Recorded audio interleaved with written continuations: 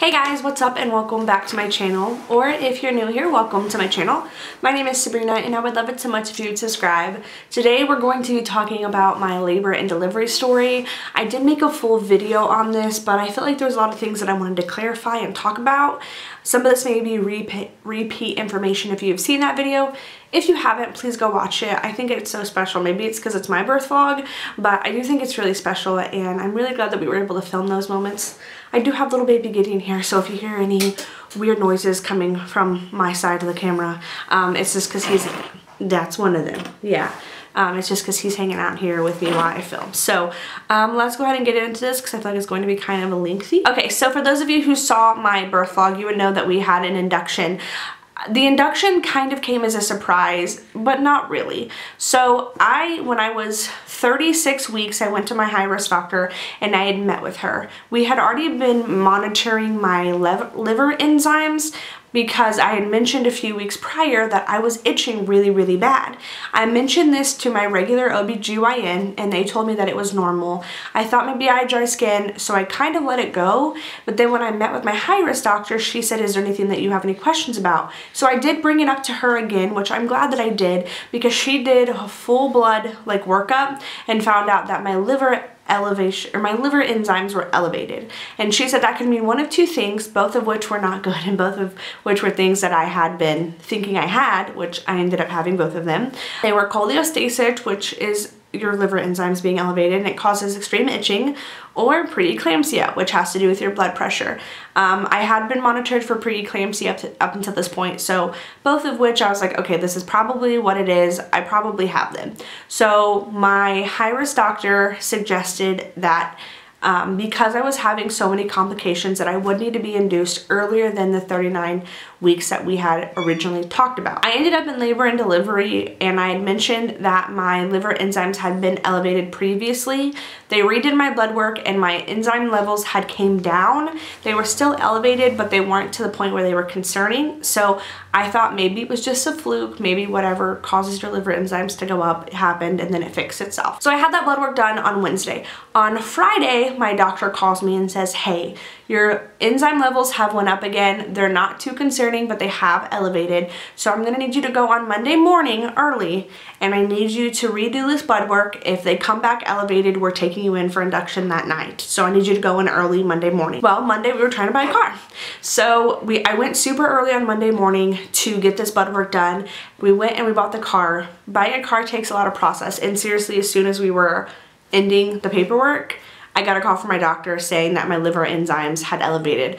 I get the report online, I looked and my liver enzymes had tripled. So I came in that night, I had no idea what I was doing. I came in, I'm like, hey, I'm here for an induction. They got me and they got things started. And I don't remember what happened that night. They were just, they started with my vitals. And when I got there, my blood pressure was extremely high, which my blood pressure had been high the majority of my pregnancy anyway. I had high blood pressure coming into pregnancy. It kind of leveled itself out at the beginning of pregnancy and then it was an issue from about week 20 on. Um, I had been monitoring my blood pressure at home. That's why I was in labor and delivery so much because my blood pressure was getting high high, was getting higher and higher.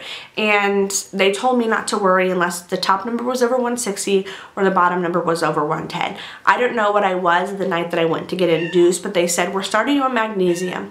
If you guys have ever been on magnesium or ever known someone on magnesium, it's terrible. I hated it. Basically what it does is it slows down your whole system because um, it prevents you from having a stroke basically.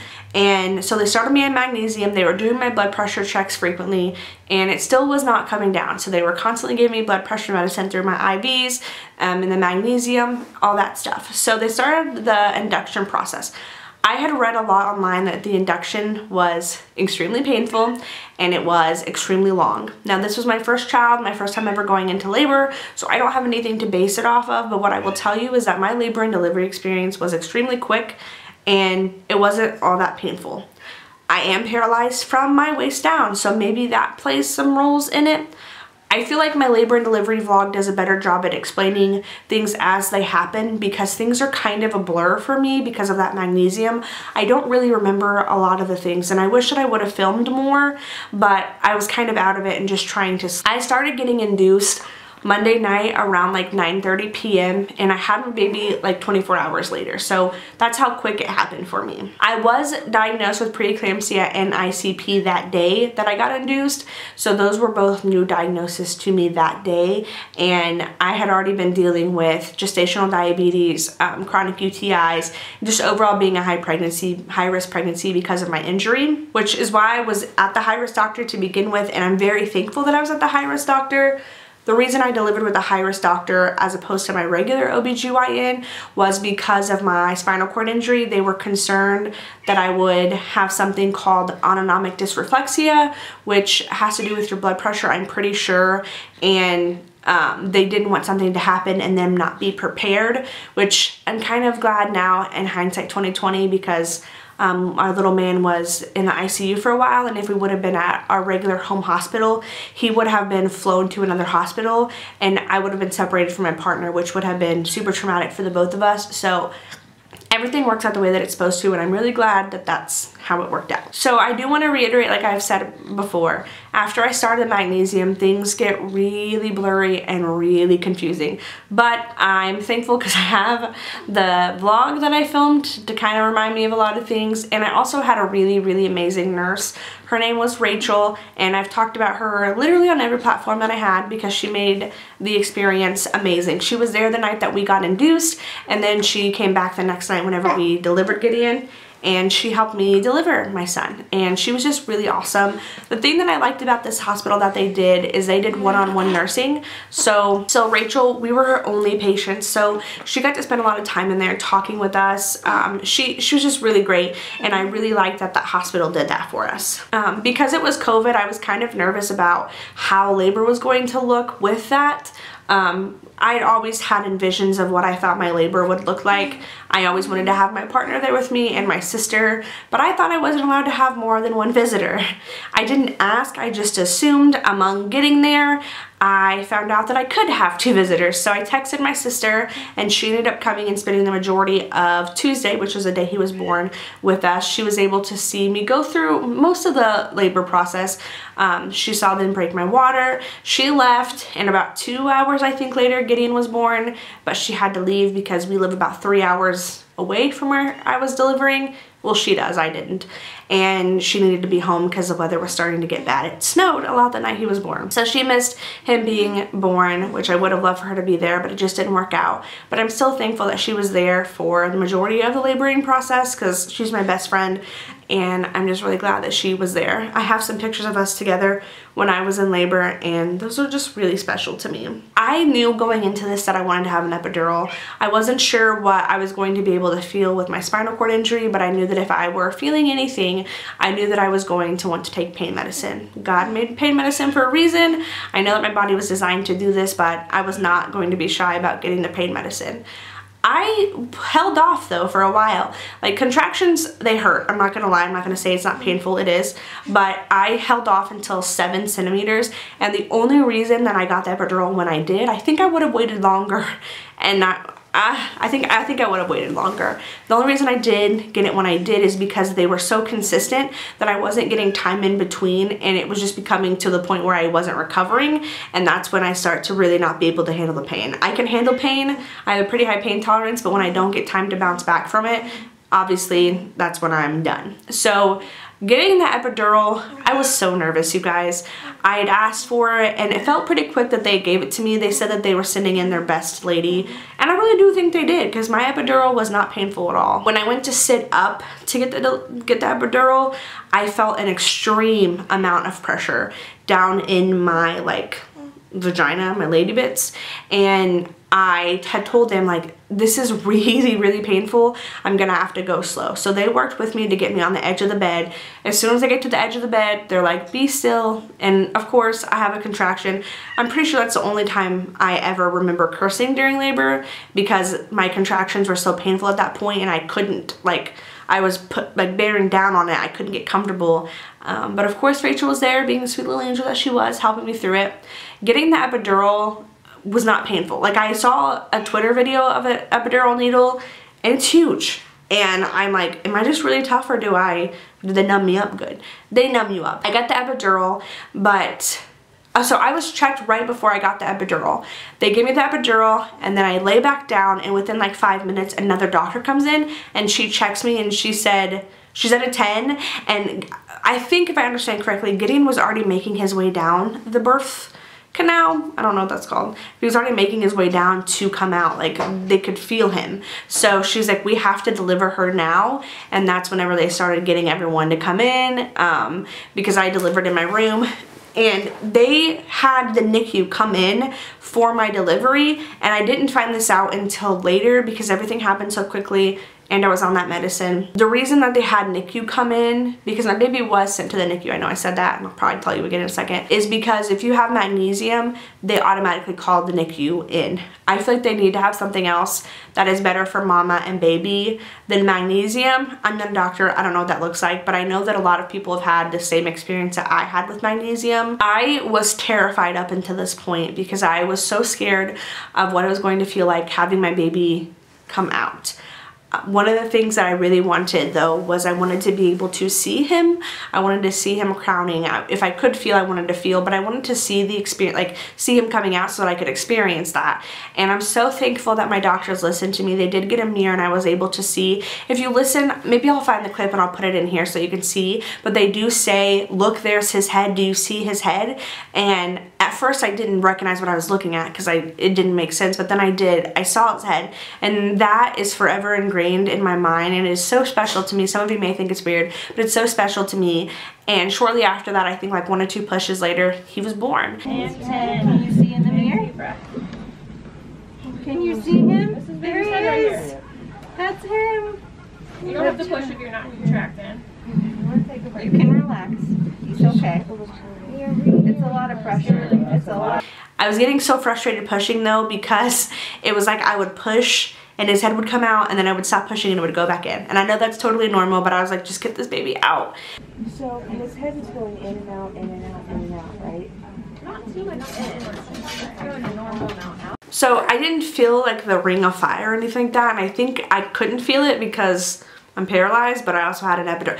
I don't even think my epidural worked because it was seriously within like 10 minutes of getting the epidural, I started pushing. Uh, I think that it obviously kicked in during the process because delivering wasn't a quick process. They told me that it was, I did really well for a first time mom and it felt really quick to me, but I think I pushed for maybe like 45 minutes to an hour. Like I didn't push solid through that. I think Jacob said there was like 11 pushes that I did. I don't know, I didn't count. But I didn't feel that, but pushing him out felt like I had to take the world's largest poop. It was like a, a sharp pain. Like I have IBS and it's kind of, felt like I was having flare up of IBS. And once he came out, I felt so much relief. But then that's when things started to take a turn for the worst. I would say up until this point, I had a really, really amazing labor. I had a really ex great experience. Like, it wasn't as painful as I thought it was going to be. I just really felt incredible and like so proud of my body and so proud of myself for pushing myself like I'm gonna get emotional for pushing myself to that point and like especially to deliver vaginally. That's something that I want to touch on too. I did deliver vaginally and I think a lot of people doubted that I could do it because of my paralysis and it was something that I had said from the very very beginning that I wanted to do. I wanted to try as hard as I could for a vaginal delivery and not that I think that there's anything wrong with C-sections. I just for me personally I didn't want that. I worried a lot about recovery with a C-section because I have to use my core muscles so much. Recovery from a C-section is hard anyway. I I I never had one, but I know from previous stories, I know that it is super freaking painful. And with me using my core so much, I was really scared of losing my independence on top of having to deal with a newborn. That was my biggest concern, if I'm being honest with you. And I'm very thankful that I had a team of doctors who listened to me and who supported my decision. Every doctor that I talked to, because I did I did have my regular OBGYN, but the hospital that I delivered at was a teaching hospital, so I, I never really saw the same doctor twice. They all were behind me, and that was really important to be listened to and heard. And because I was delivering at a high-risk hospital, I think that they were a little bit more equipped for it. But even at the regular level, they were prepared for me to deliver vaginally. I think some of them doubted me though, but I'm really thankful that I pushed my body that far because I do think that I, I do think that if I didn't have that mindset, I would have chickened out. So once Gideon was born, they wrapped him in a towel and they put him on my stomach and he wasn't making any noise. And it all happened so fast, but I remember thinking, I remember saying like, why isn't he say, like, why isn't he making any noise? Why isn't he crying? And one of the things that I wanted was I wanted immediate skin to skin and they weren't giving me that.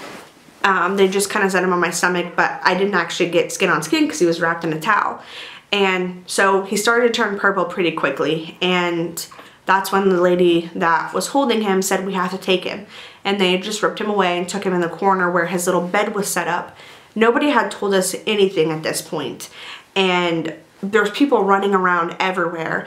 So they take Gideon away. Jacob is right next to me holding my leg because at this point I still have to deliver my placenta and be stitched up. So I have doctors working on me down there telling me to push to deliver this placenta.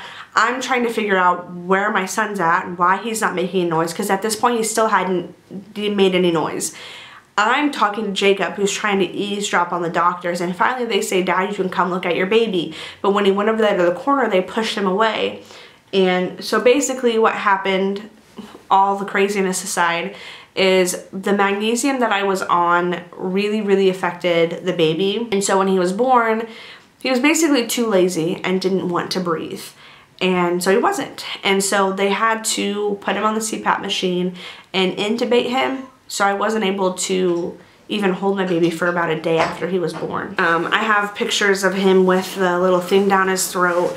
It's heartbreaking now, but he only had that, um, he only had that for about um, 24 hours and then he was able to get off that. But we did stay in the NICU for five days total because at first his breathing was an issue. After that, technically Gideon was preemie. Uh, he was born at 36 and 6 and at 37 they consider you full term. So technically he was a preemie and because he was born so early he didn't know how to eat. His sugars were really low and because of that they had to prick his little baby feet all the time after he ate um, and they had to make sure that he was staying on top of his feedings and wasn't getting sick because he's throwing up a lot. So every time he would get sick or throw up that was just another backslide. Um, and then of course because of that all babies lose weight to begin with but he lost weight. So um, basically all he had to learn how to do was eat and we were able to finally get out of there once he hit his birth weight again which was six pounds and seven ounces. He was a little guy. Um, last time he got weighed he was almost eight pounds though. Huh. It was almost eight pounds. Yeah I know that I kind of rambled a lot in this. I hope that it made sense but because I really wanted to share the story. I really had an amazing labor and delivery experience and I would 10,000% do birth again do labor again than to do my pregnancy because my pregnancy was awful but I loved giving birth. I felt so empowered and so proud of my body for being able to do those things and it gave me the most amazing little guy in the world so very thankful for that. Hope, again, this wasn't too much rambling. There's a lot going on right now that's distracting me, so I apologize. But thank you guys so much for watching. If you guys haven't seen our labor and delivery vlog, please go watch it. I will leave it in the iCards above or in the description down below. Um, thank you for your support. I love you guys so much, and I will see you in the next one. Bye. I don't like the way my eye looks, but that's not It's like labor.